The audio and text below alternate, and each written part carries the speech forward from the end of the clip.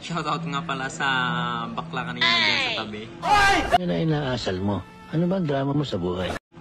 Sabi niya lilibre daw niya ako ng sushi. Wow naman! Wow!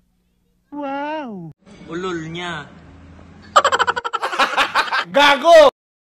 A few moments later.